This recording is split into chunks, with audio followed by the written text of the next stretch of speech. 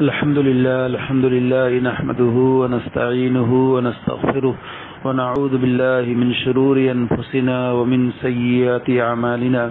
ونعوذ بالله من شرور أنفسنا ومن سيئات أعمالنا. ونعوذ بالله من شرور أنفسنا ومن سيئات أعمالنا. من يهديه الله فلا مضل له ومن يضلله فلا هادي له. ونشهد أن لا إله إلا الله وحده لا شريك له، ونشهد أن سيدنا ومولانا محمد عبده ورسوله، وصلى الله تعالى عليه وعلى آله وصحابه وأزواجه وذرياته ومن تبعهم بإحسان إلى يوم الدين. أما بعد، حضرت سیدنا اسامہ ابن زید رضی اللہ تعالی عنہما، نام و نصب اسامہ نام، ابو محمد کنیت محبوب رسول اللہ صلی اللہ علیہ وسلم کا لقب والدہ کا نام والد والد کا نام زید تھا۔ پیدائش اسلام اور ہجرت۔ ہجرت سے چھ سال قبل مکہ میں پیدا ہوئے۔ ان کے والد حضرت زید رضی اللہ عنہ حضرت صلی اللہ علیہ وسلم کے محبوب غلام اور منہ بولے بیٹے تھے۔ اور ان کی ماں برکہ حضرت صلی اللہ علیہ وسلم کی کھلائی ہوئی تھی۔ اس لیے ان کو ماں اور باپ دونوں طرف سے رسول اللہ صلی اللہ علیہ وسلم کی محبوبیت کا شرف و رسا میں ملا تھا۔ انہوں نے آنکھ کھولتے ہی اسلام کے گہوارے میں پرورش پائی تھی۔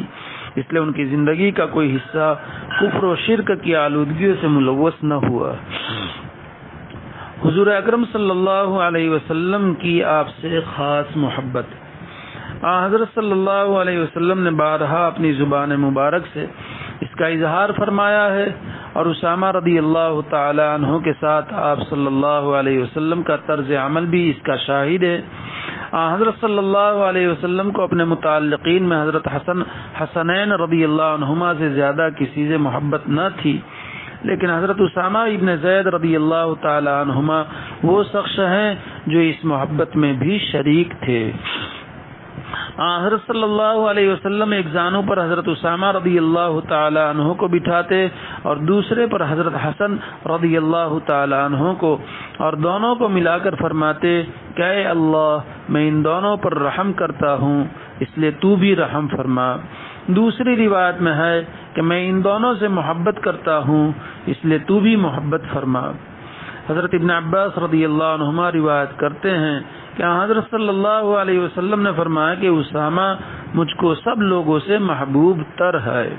ایک موقع پر آپ صلی اللہ علیہ وسلم نے فرمایا کہ اس کا باپ مجھ کو سب سے زیادہ محبوب تھا، اب یہ سب سے زیادہ عزیز ہے۔ حضرت دہیا کلبی رضی اللہ تعالی عنہ نے کتان کا کپڑا پہنا، کتان کا کپڑا حضرت صلی اللہ علیہ وسلم کو ہدیہ دیا تھا۔ آپ صلی اللہ علیہ وسلم نے وہ کپڑا حضرت اسامہ رضی اللہ تعالیٰ عنہ کو پہنا دیا اور انہوں نے اپنی بیوی کو دے دیا۔ ایک دن آپ صلی اللہ علیہ وسلم نے پوچھا، کتان کیوں نہیں پہنتے؟ عرض کیا، یا رسول اللہ صلی اللہ علیہ وسلم، میں نے اسے بیوی کو دے دیا۔ آپ صلی اللہ علیہ وسلم نے فرمایا اچھا اس سے کہہ دو کہ نیچے سینہ بند پہن لے، ورنہ بدن دکھائی دے گا۔ فائدہ حضور اکرم صلی اللہ علیہ وسلم کے اس فرمان سے سطر عورت کا کس قدر اہتمام معلوم ہوتا ہے؟ مگر آج مسلمان عورتوں کو عورتوں کا اس پر عمل تو کیا اس سے بیزاری معلوم ہوتی ہے، جس کی وجہ سے بے حیائی اور بے پردگی عام ہوتی جا رہی ہے۔ العیاد باللہ تعالی مرتب۔ یعنی حضرت اقدس الشاہ مولانا محمد قمر الزمان صاحب دامت برکاتم العالیہ نے فائدہ نقل کیا ہے۔ حضرت کو کتنی فکر ہے۔ عورتیں باوجود پہننے کے ننگی ہیں۔ حدیث میں بھی اس کو بیان فرمایا کہ ایسی عورتیں ہوں گی جو پہننے کے باوجود ننگی ہوگی۔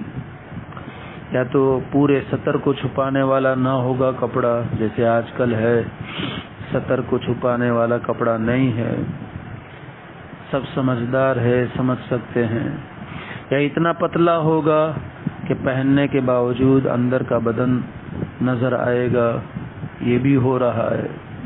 یا اتنا چست اور فٹ ہوگا کہ پہننے کے باوجود جسم کے خد و خال ظاہر ہوں گے، یہ بھی ہو رہا ہے۔ ایسی عورتوں کے بارے میں حدیث پاک میں سخت وعید ہے کہ ایسی عورتیں جنت میں تو کیا جائے گی؟ جنت کی بو بھی نہیں پائے گی، خوشبو بھی نہیں پائے گی۔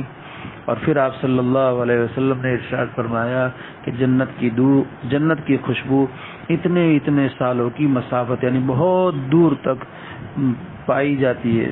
تو گویا کہ جنت سے دور کا بھی واسطہ ان کا نہیں ہوگا۔ اللہ ہمارے معاشرے کی خاتونوں کو پاکیزہ بنائے با پردہ بنائے اور حیا کا پے کرے مجسم بنائے۔ آمین یا رب العالمین بحرمت سید المرسلین صلی اللہ علیہ وسلم۔ قیامت تک کی نسلوں کے حق میں بھی اللہ تعالیٰ ان دعاؤں کو قبول فرمائے۔ آمین یا رب العالمین بحرمت سید المرسلین صلی اللہ علیہ وسلم۔ خدمت رسول۔ حضرت اسامہ رضی اللہ تعالیٰ عنہ کا شان نبوی صلی اللہ علیہ وسلم یعنی گھر میں کثرت سے آتے جاتے تھے اور اکثر سفر میں بھی ہمر کابی کا شرف حاصل ہوتا تھا۔ اس لیے خدمت نبوی کا زیادہ موقع ملتا تھا۔ اکثر وضو وغیرہ کے وقت پانی ڈالنے کی خدمت انجام دیتے تھے۔ اطاعت والدین۔ والدین کی خوشندی کا بہت زیادہ لحاظ رکھتے تھے اور اس میں بڑی مالی قربانی سے دریغ نہیں کرتے تھے۔ محمد ابن سیرین رحمۃ اللہ علیہ روایت کرتے ہیں کہ حضرت عثمان رضی اللہ عنہ کے عہد خلافت میں کھجور کے درختوں کی قیمت ایک ہزار تک پہنچ گئی تھی۔ اس زمانے میں حضرت اسامہ رضی اللہ تعالیٰ عنہ نے ایک درخت کی پپڑی کھوکھلی کر کے اس کا مغز نکالا۔ لوگوں نے پوچھا، یہ کیا کر رہے ہو؟ آج کل درختوں کی قیمت اس قدر بڑھی ہوئی ہے اور تم اس کو ضائع کر رہے ہو۔ کہا، میری ماں نے فرمائش کی تھی اور وہ جس چیز کی فرمائش کرتی ہیں، اگر اس کا حصول میرے امکان میں ہوتا ہے، تو میں اس کو ضرور پوری کرتا ہوں۔ اللہ ہمیں بھی ہماری قیامت تک کی نسلوں کو اپنے والدین کی خدمت اور ان کی اطاعت شعاری کو اپنا فریضہ سمجھ کر کے ادا کرنے کی توفیق عطا فرمائے، آسان فرمائے، مدد فرمائے۔ والدین کی ذرہ برابر بھی دل شکنی سے ہماری اور ہماری قیامت تک کی نسلوں کی اللہ اپنے فضل سے پوری پوری حفاظت فرمائے۔ آمین یا رب العالمین بحرمت سید المرسلین صلی اللہ علیہ وسلم. اخلاق و عادات. چونکہ حضرت اسامہ رضی اللہ عنہ نے حضرت صلی اللہ علیہ وسلم کے دامن تربیت میں پرورش پائی تھی، اس لیے ان پر قدرتن تعلیمات نبی صلی اللہ علیہ وسلم کا خاصا اثر تھا۔ پابندی سنت. سنت کی پابندی شدت سے کرتے تھے۔